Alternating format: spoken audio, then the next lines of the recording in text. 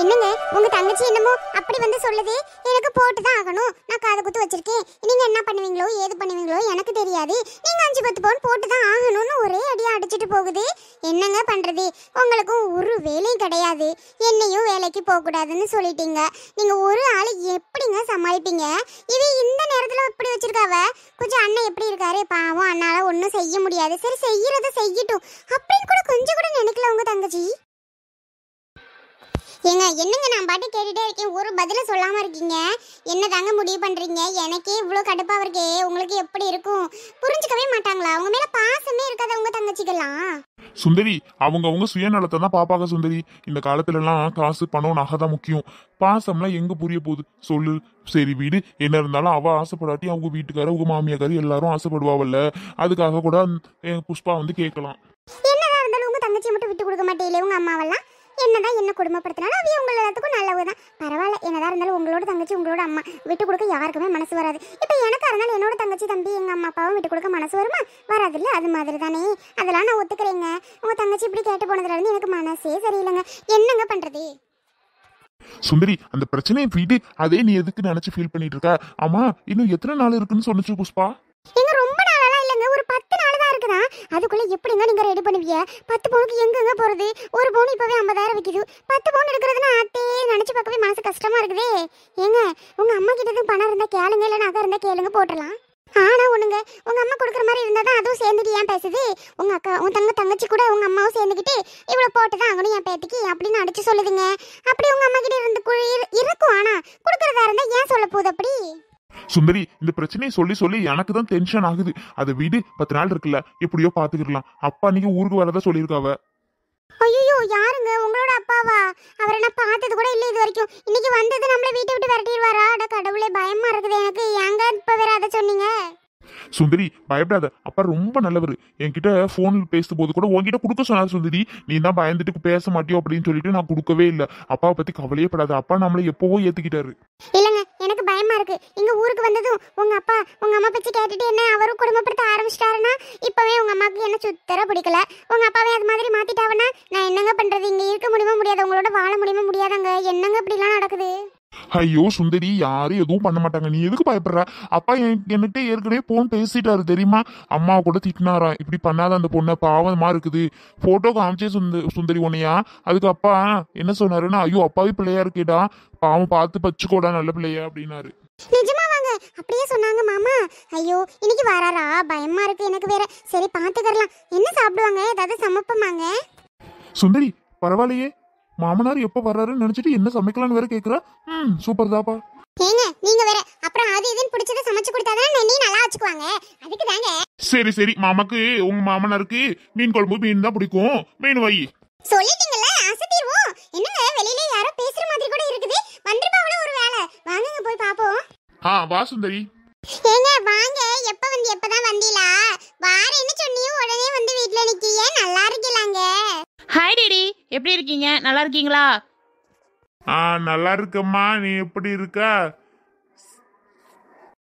லட்சுமி நல்லா இருக்கியா? நான் நல்லா இருக்கேங்க. நீங்க எப்படி இருக்கியா? உடம்பு என்னங்க இழைச்ச மாதிரி இருக்கு? சாப்பாடு சரியா இல்லையோ?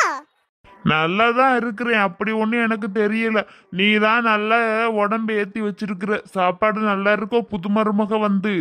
ஆமா அவ சமைச்சிட்டாலும் நீங்க வேற. அவளும் அவ சாப்பாடும். நல்லாவே சமைக்க மாட்டாங்க. ஒரு காரம் இருக்காது உப்பு இருக்காது புளி இருக்காது ஒன்னும் இருக்காது குழம்புல பாத்துக்கோங்க. எப்பா ஆமாப்பா. ஒன்றும் சரியில்லைப்பா. சாப்பாடே சுத்தம். என்னடா அப்படி போகுதேன்னு இருக்கே நீங்க வேற. என்னம்மா? சுரேஷ் அந்த புள்ள நல்லா சமைக்கும்னு என்கிட்ட சொல்லியிருந்தான் நீங்க என்ன இப்படி சொல்றியா நல்லா தானே அந்த புள்ள சமைக்கும். வாங்கப்பா இப்ப வந்தீங்க இப்பதான் வந்தீங்களா? நல்லா இருக்கீங்களாப்பா? நல்லா இருக்கேன்டா சுரேஷ். இதான் உன் பொண்டாட்டியா? இம்மா நல்லா இருக்கியா?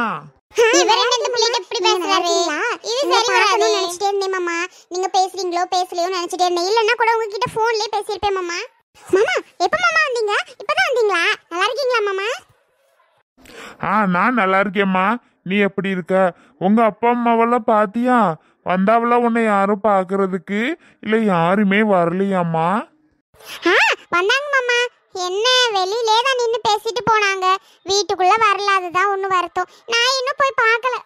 என்னம்மா சொல்ற? இன்னும் போய் பார்க்காம இருக்கிற? என்ன பிள்ளை நீலாம் போய் பார்க்கறது இல்லையா? பாவம் இல்லையா அவிய? இவையில அது இருப்பாவ போல. போய் பார்க்கலன்னு வருத்தப்படுறாவ. போய் பார்க்கணும் மாமா. அதான் பாவமா இருக்கு. கண்டிப்பா போய் பார்த்துட்டு தான் வரணும். சரி விடுங்க. அவகிட்ட என்னத்த பேசிக்கிட்டு இருக்கிய? ஏங்க வந்து சாப்பிடாம இருப்பிய என்ன சாப்பிடுறியா? ஓ சாப்பாடு சாப்பிட்டு சாப்பிட்டு தான் இப்படி கிடைக்கேன். இந்த புது மரமாக வந்திருக்குல்ல அது சாப்பாடு எப்படி இருக்குன்னு பார்ப்போம் தள்ளு. ஏம்மா என்னம்மா சமைச்ச? மாமா இருங்க மாமா. உங்களுக்காக மீன் குழம்பு வச்சு கொண்டுட்டு வரேன். கொஞ்ச நேரத்துல இருங்க. பரவாயில்லையே. பிள்ளை நான் பசிக்குதுன்னு சொன்னது மீன் குழம்பு வச்சு கொண்டு வரேன்னு சொல்லுது. ஷப்பா ஓவரால பண்றா இவ முடியலையே. ஏய் ஒன்றும் அதெல்லாம் வைக்க வேணாம். அப்புறம் வச்சுக்கலாம் சரியா? இல்லத்த மாமா பாவம் பசிக்குதுன்னு சொல்றாங்க. உடனே செஞ்சு கொடுப்போம். சுந்தரி போ. அவங்க வந்து ரொம்ப நேரம் ஆச்சுல்ல? பாவம். ஆ இந்த போறேங்க. ஒரு நிமிஷம். ஏம்மா கொஞ்சம் நில்லு. ஆ என்னது மாமா? இடி லட்சுமி தள்ளு. பிள்ளைகிட்ட இதை கொடுப்போம். ஏம்மா இந்தா ஸ்வீட்டு பழம் இதுல நிறைய இருக்கு எல்லாமே. எல்லாமே எடுத்துக்கொண்டே வை. நீ சாப்பிட்டுக்கா. என்ன மம்மி? எனக்கு ஒரு பீஸ் கூட கொடுக்கல. எல்லாம் அவளுக்கு போகுது. என்ன நினைச்சிட்டு இருக்காரு ஓ புருஷன் ஒழுங்கா எனக்கு ஸ்வீட் பாக்ஸை வாங்கி எனக்கு கொடுத்துரு. சொல்லிட்டேன். எனக்கு பார்க்கறதுக்கு ஒன்றும் பிடிக்கல டி.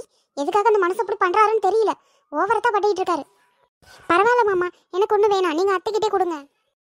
அவன் நல்லா சாப்பிட்டு சாப்பிட்டு குண்டுத்த கழித்த மாதிரி தாம்மா இருக்கிறா. நீ சாப்பிடு. பாவம். பிள்ளை ஒரு மாதிரி உடஞ்ச மாதிரி இருக்க. இந்தா. என் பிள்ளைய கூட வந்தோன்னு இப்படிலாம் பாசமா பேசாதுவோ. நீ நல்ல பாசமா இருக்குமா? இந்தா. சுந்தரி வாங்கிக்கோ. அதை தாராங்கல்ல. ஏன் மாமா? எனக்கு வேணாம். சின்ன பொண்ணுகிட்ட கொடுங்க. பாவம் சின்ன பிள்ளை தானே. சாப்பிடட்டும். எப்பா அவளுக்கு கொடுத்தது எனக்கு கூட வேண்டாம். அதெல்லாம் வேண்டாம் வேண்டாம்னு சொல்லுதுமா நீ எடுத்துக்கோ. ஆ சரிங்க மாமா. ரொம்ப தேங்க்ஸ் மாமா. எதுக்குமா நான் அப்பா உன் அப்பா மாதிரி தான் தேங்க்ஸ் எல்லாம் ஒன்றும் வேண்டாம். சரிம்மா சமைச்சு வை. கொஞ்ச நேரம் ரெஸ்ட் எடுத்துட்டு வந்து அப்புறம் சாப்பிட்றேன். ஆ சரிங்க மாமா. கண்டிப்பா. இன்னும் ஒரு அரை மணி நேரம் தான். அதுக்குள்ள நீங்க சாப்பிடலாம் ஆ சரிம்மா. ஏங்க அப்புறம் நான் போயிட்டு சமைச்சிட்டு வரேங்க. எங்க? உங்க பாட்டியை காணோம். பாட்டி ஒரு மணி நேரம் தூங்குறேன்டி அப்புறம் எழுப்பிடுறீன்னு சொன்னாவ.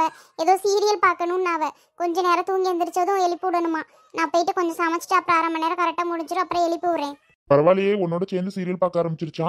நான் என்ன அப்படி அங்கே பார்க்குறேன் சரிங்க எனக்கு வேலை இருக்குப்பா. பாவம் மாமா அப்புறம் பசிக்குதும் பாக ஆ சரி போ. என்ன மம்மி வீட்டில் நடக்கிற ஒன்று ஒன்று எனக்கு ஒன்றும் பிடிக்கல. வந்தாரு ஓவரா பண்ணிட்டு இருக்காரு இந்த அப்பா. என்ன இப்படி மோசமா இருக்காரு? வந்தது எப்போதுமே சின்ன பொண்ணு சின்ன பொண்ணுன்னு கூப்பிட்டு வாங்கி நிறைய கூப்பிட்டு இந்தம்மா இந்தம்மா ஸ்வீட்டு இந்தம்மா பழம் அது இதுன்னு வாங்கிட்டு வந்து என்கிட்ட தான் கொடுப்பாரு. இன்னைக்கு என்னடான்னு பார்த்தா அவளை கூப்பிட்டு கொடுத்துட்டு இருக்காரு என்ன நினைச்சிட்டு இருக்காரா அப்பா? அதெல்லாம் விடுடி. என்ன பார்த்து குண்டு தக்காளி மாதிரி இருக்க? நல்லா உடம்பு ஏறி போச்சு. அப்படி இப்படின்னு சொல்றாரு இந்த மனுஷன். எப்போதும் வந்தா என்னடி இப்படி இழைச்சு போயிட்டா? என்னடி என்ன கவலை? அப்படின்னு சொல்லிட்டு இருப்பாரு இன்னைக்கு பார்த்தா இப்படி சொல்றாரு. போற போக்க பார்த்தா ரெண்டு பேரும் வீட்டை விட்டு வெளியில போயிருவோம் போல. தள்ளிடுவா போல சிவரும் சேர்ந்துக்கிட்டு எனக்கு ஒன்றும் பிடிக்கலப்பா. ஏடி சின்ன பொண்ணு இந்த மனுஷன் கொஞ்சம் ரெஸ்ட் எடுத்துட்டு வரட்டும். என்ன ஏதுன்னு கேட்டு எனக்கு ஒரு விளக்கத்தை உண்டாகணும் எப்படிம்மா? நீ நல்லதனமா அவர்கிட்ட சொல்லி வச்சிருந்த அவளை பத்தி? சரி சரின்னு சொன்னவர் இங்க வந்து அப்படி டோட்டலா மாறிட்டாரு. என்ன நடந்துச்சு? என்ன மாய் மந்திரம் தெரியல இந்த சுந்தரி ஏதோ மந்திரம் மாசு வசியம் வச்சிருப்பா போல. அவ வசிய மந்திரம்னா நம்ம கிட்ட ஒத்து பலிக்காதடி பாத்துக்க. ஏம்மா இந்த ஸ்வீட்டுங்கிறாரு ஏம்மா இந்த பழங்கிறாரு. என்ன நடக்குது இந்த வீட்ல? ம். வார கோவத்துக்கு என்ன பண்ணுவேன்னு தெரியாது. சின்ன பொண்ணு விடு விடு. பாப்போம் பாப்போம். அடுத்து என்ன நடக்குதுன்னு பாப்போம். அதுக்கப்புறம் இருக்கு உங்க அப்பாவுக்கு. ஒழுங்கா அவர்கிட்ட அவளை பத்தி ஏதாவது இல்லாதது போலதை சொல்லி வை. அவர் அவர் அவளை ஓவரதை பண்ணிட்டு இருக்காரு. பாசமாளி புளிறாரு பாத்துக்கலாம் விடுடி. மாமா சாப்பாடு சாப்பிட்டுட்டு எப்படி இருக்குன்னு சொல்லுங்க. நீங்க எப்படி இருக்குன்னு சொல்லுவீங்கன்னு வெயிட் பண்ணிட்டு இருக்கேன் நானு. ஆ இந்த சாப்பிட்டு சொல்றேம்மா. அடடே இந்த மாதிரி சாப்பாடு நான் ஹோட்டல்ல கூட சாப்பிட்டதே கிடையாதும்மா சுந்தரி. இப்படி சமைச்சிருக்க? ச்சே ஓ நான் எதுக்கு இனிமே வேலைக்கு அங்கங்கன்னு போய்க்கிட்டு இனிமே வீட்ல இருந்து நீ சமைச்சு போறத சாப்பிட்டுட்டே இருக்க போறேன். வயசான காலத்துல என்னத்துக்கு போய்க்கிட்டு? ஐயோ மாமா நீங்க இப்படி சொல்லுவீங்கன்னு நான் நினைச்சு கூட பார்க்கல. நீங்க எதுக்கு மாமா வேலைக்கு போய்கிட்டு நான் கூட நல்லா படிச்சிருக்கேன். நான் கூட ஒரு வேலைக்கு போய்க்கிறேன். வேண்டாம்மா. அப்படி நீ போற மாதிரி இருந்தா நான் இதுக்கு வீட்ல? நானே போய்க்கிறேன். நல்லா இருக்குமா நீ சமைச்ச சாப்பாடு? ஆ ரொம்ப தேங்க்ஸ் மாமா. அடி லட்சுமி சின்ன பொண்ணு சாப்பிடுங்க வாங்க நல்லா இருக்கு. எங்களுக்கு ஒன்றும் வேணாம். உங்களுக்கு வேணும்னா நீங்க சாப்பிட்டுக்கிடுங்க. எங்களை சாப்பிடுங்க வைங்கன்னு சொல்லாதீங்க. சாப்பிடலன்னா போங்க சாப்பாடு மிச்சம் தானே. இவளுகளை விடுமா சுந்தரி? இவங்கெல்லாம் அப்படித்தான். நான் சாப்பிட்றேன்னா அதை பாரு. நீங்க ரெண்டு பேரும் சாப்பிட்டீங்களா? இல்ல சுரேஷ் நீயி? இப்பா நீங்க சாப்பிடுங்க வந்து சாப்பிட்றேன். ஆமா என் மாமியார் கழுவி வந்திருக்காம்ல அது எங்கம்மா சுந்தரி? இவ்வளோ நாளைக்கு அது இந்த வீட்டில் இருந்தது பெரிய விஷயம். என்னன்னு கேட்டால் லாஸ்ட்ல நீ தான் வச்சிருப்ப போலே நல்லா. அது ஒரு நாளில் வந்து இங்கே தங்க முடியாது. உடனே விரட்டிடுவான் இந்த லட்சுமி. இங்க பாருங்க என்னை பத்தி எதுக்கு அப்படி இப்படின்னு சொல்லிட்டு இருக்கியா? எங்க அம்மாவை பார்த்துக்க எனக்கு தெரியும். நான் ஒன்றும் அப்படி இல்லை பட்டவெல்லாம் கிடையாது. ஓ அப்படி சொல்றியா லட்சுமி? சரி சரி. பாசம் இப்பந்தான் வருதோ அம்மா மேல? மாமா சாப்பாடு ஆறதுக்குள்ள சீக்கிரம் சாப்பிடுங்க. மீன்லாம் எடுத்து சாப்பிடுங்க. எப்படி இருக்குன்னு சொல்லுங்க. சரிம்மா இந்த சாப்பிட்டுறேன் சாப்பிட்டுறேன்